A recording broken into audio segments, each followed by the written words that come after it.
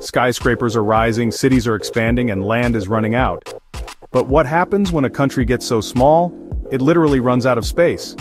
Well, one nation came up with a bold idea, build an entire city, underground.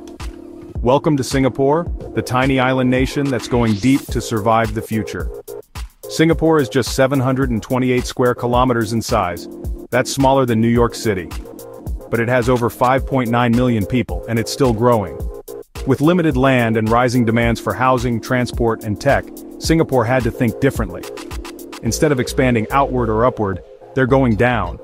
Singapore is already building major infrastructure underground including expressways, train lines, uh, electrical grids, fuel and water pipelines. But that's just the start.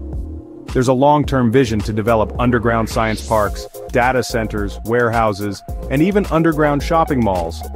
One example is the Jurong Rock Caverns, an underground oil storage facility buried 130 meters deep beneath the seabed.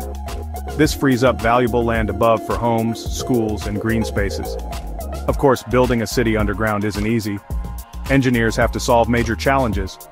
Air circulation and oxygen, cooling systems to handle tropical heat, mental health concerns from lack of sunlight, and making sure it feels safe, not like a giant bunker.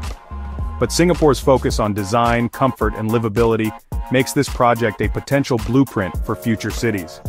Singapore may be the first, but it won't be the last.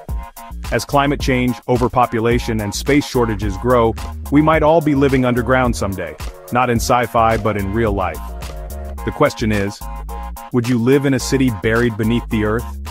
If you found this fascinating, hit the like button and subscribe for more mind-blowing stories about science, countries, and the future of Earth. And drop a comment, would you live in an underground city?